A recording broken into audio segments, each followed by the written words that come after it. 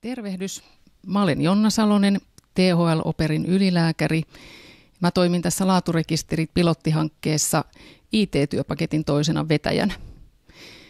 Ja tänään mä käyn läpi IT-ajatuksia, erilaisia näkökulmia, mitä on tässä matkan varrella tähän mennessä syntynyt ja mitä on suunnitelmissa.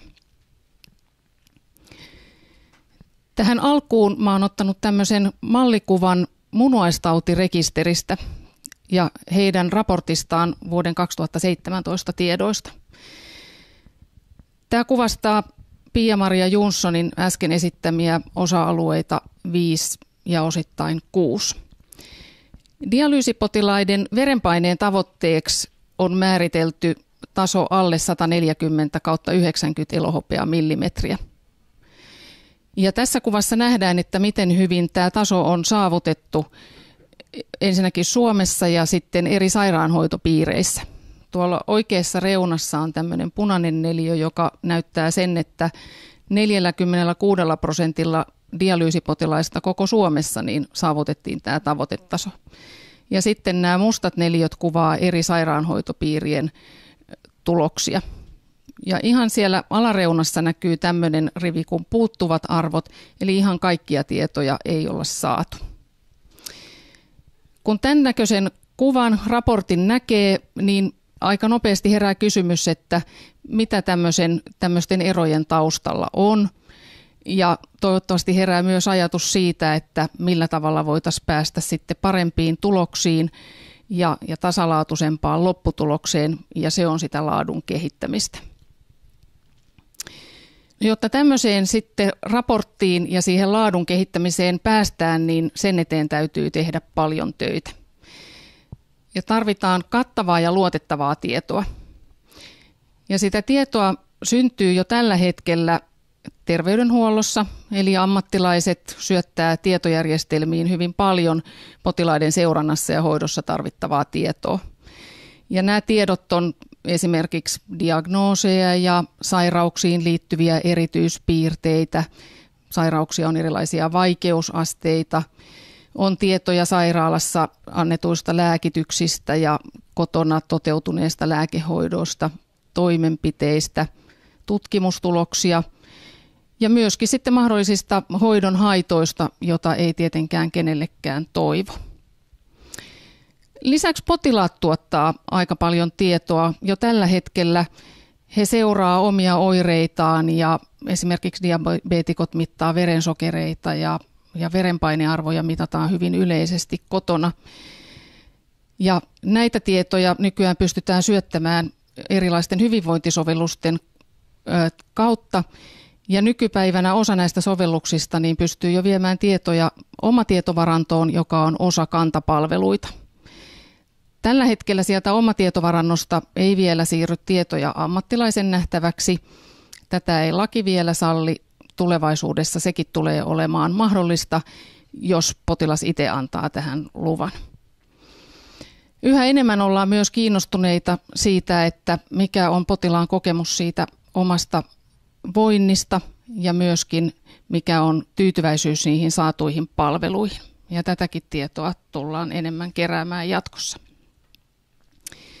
Silloin kun rakennetaan näitä laaturekistereitä ja kerätään niihin tietoja, niin täytyy myös ottaa huomioon se, että potilaiden samankin sairauden hoito saattaa jakautua hyvin moniin eri paikkoihin. Ja viimeistään näin käy siinä vaiheessa, jos ihminen muuttaa paikkakunnalta toiselle.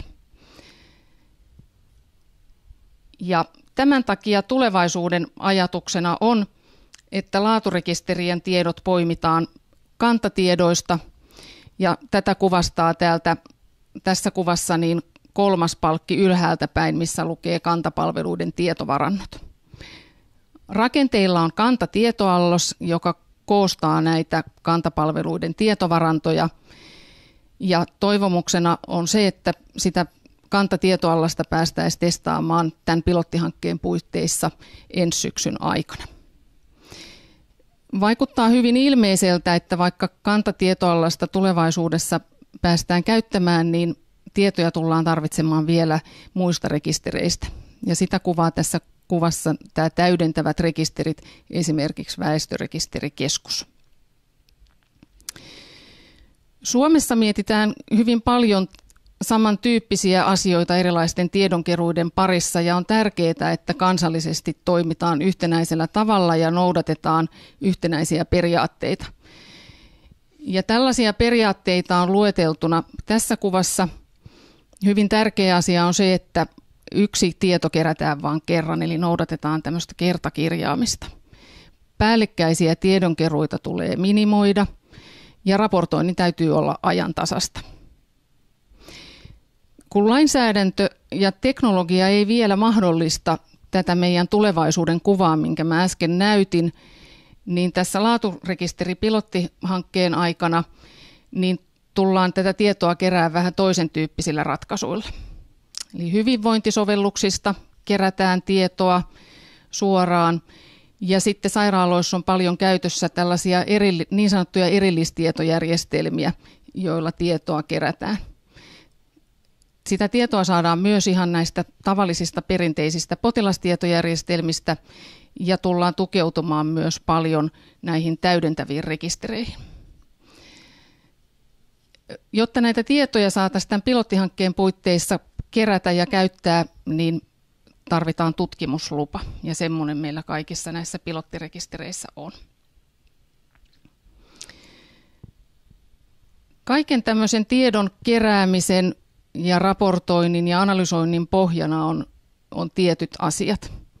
Ja semmoinen oleellinen asia, mihin näissä laaturekisteripiloteissakin kiinnitetään paljon huomiota, on se, että jokaisen rekisterin tietosisällön täytyy olla yhtenäinen ja nimenomaan kansallisesti yhtenäinen.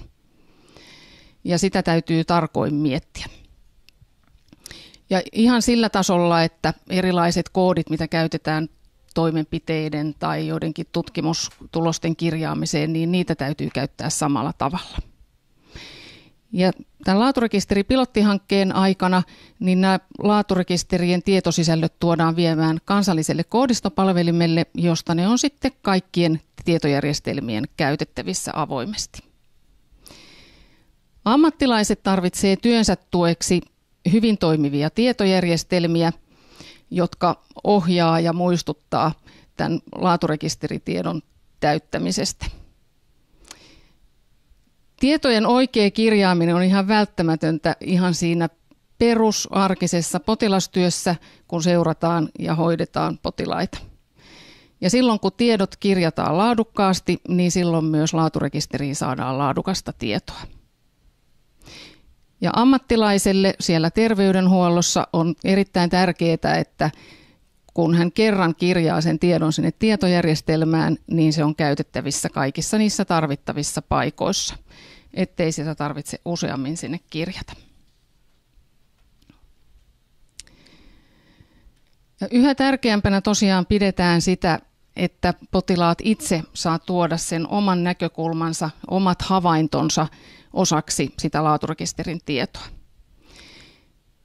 Ja tämä tuodaan mahdolliseksi sillä tavalla, että ohjataan jo tämän meidän pilottihankkeen aikana näitä laaturekistereitä ja heidän kanssaan mahdollisesti toimivia hyvinvointisovelluksia viemään se oma tietosisältönsä oma tietovarantoon kansalliseksi yhteiseksi tietosisällöksi. Tässä tullaan tarjoamaan tukea näille pilottirekistereille ja heidän yhteistyökumppaneilleen. Eli sitä tekee meidän työpaketti tässä laaturekisteripilotissa. Ja tässä on sitten linkki sinne verkkosivuille, missä asiasta saadaan lisää tietoa. Asiakkaan ja potilaan näkökulma näissä laaturekistereissä on toki paljon laajempi kuin mitä tässä omatietovarannossa pystytään hyödyntämään. Ja siitä meille kertoo seuraavaksi Hanna Tiirinki. Kiitos mielenkiinnosta.